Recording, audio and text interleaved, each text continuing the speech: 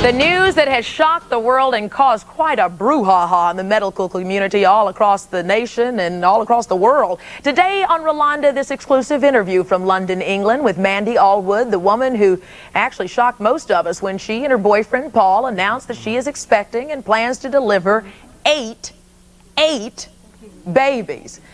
Man, have you had any any cravings, Mandy? I would think that at eight, I mean, you know, I, I gotta ask. I'm sorry, but with eight babies, I can imagine your cravings are going wild. Um, the only cravings I have had is um, roast potatoes, jacket potatoes, and um, um a cooked breakfast, basically. That's about it.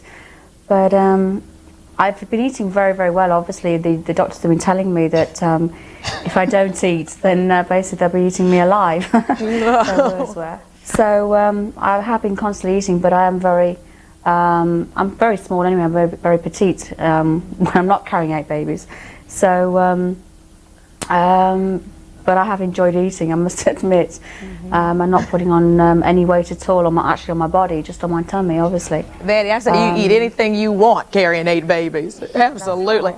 Paul, you, you guys have been in this relationship for a little more than two years now. You are five months pregnant with eight babies. Life changes when babies come along. Relationships have to adjust a bit. Paul, my, my question to you is, I understand that even though you are with Mandy, you are still dating other women. Is that how, what kind of relationship is this that y'all have? Um, I wouldn't even call it an open relationship. What the, the fact is, I have um, two children with someone else, and um, I've I've known Mandy for five years total, um, and uh, I my children come first. My children come before me. Um, Mandy, the mother of my other children, they're, they're number one in my life and I go regularly to go and see them. Mandy, is that good enough for you? Well, I've known about obviously his children. Um, you know, they're on the scene before I came along. Um, and obviously, with myself having a son, I would never keep my son away from his father.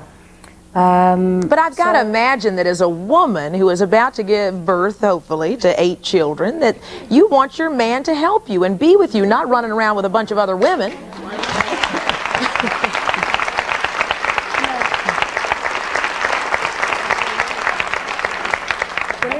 I'm not, I'm not stupid. I really am not. Um, I've very much got a mind of my own. A lot of folks in here. What what is it? Well, I'm hearing something, some rumbling over here. What are you What are you saying? We've got a studio audience here that's really reacting to this, Mandy. It's hard for us to to understand. Yes, ma'am. Hi. First of all, congratulations. Secondly, my question is for your Paul. boy, Paul. Mm-hmm. Okay. God forbid anything happens to her during this delivery. Are you prepared to take care of eight kids plus your other two? Um, I'm prepared to take care of 20, never mind 8 or 10. Um, I've been taking care of Mandy's other child as well, um, as well as my own. And the mother of my child has also got one, one daughter by um, another, a, a, previous relationship. How are y'all? I, I paid for her to go to private school and to get the best education possible. Paul, are you going to blend all of this? I mean, Mandy clearly is going to need help, clearly from the father of the children. Are you going to live together? Are you going to have to change your living arrangements? How, what are you planning? Well, we're talking about it. I'm actually more domesticated than Mandy is. That's true. Which, which she'll admit to. Well, she's going to be domesticated now. How are you going to set up your living arrangements with eight children? I mean, that's got to be just simple things that we take for granted you're going to have to really adjust well, to. We've both got our own properties. We've both got our own houses. And, um, and it's a case that I come and see Mandy as, an, as, as often as I can. Um, but I'm, t- I'm, a, I'm a lot too domesticated for her. So when, when I if she puts something down in the wrong place and I don't like it, I just leave. Mm. Mandy, are you afraid that this man is going to desert you when these children come along? Do you fear that he's going to desert you? No, not at all, because um, as I say, I've, I have been with Paul now three years, November. Um, and I've seen him with um, his own children and um, with my own um, husband, my ex-husband, uh, the way he was, and seen other, my friends as well with um, their partners and their children. Uh, they just don't want to know when they're born.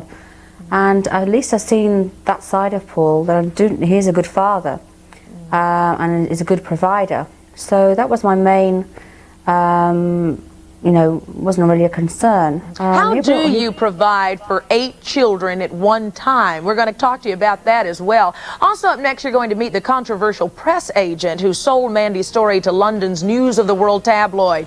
He's getting a lot of heat these days, and he's a money monger. We'll see right after this.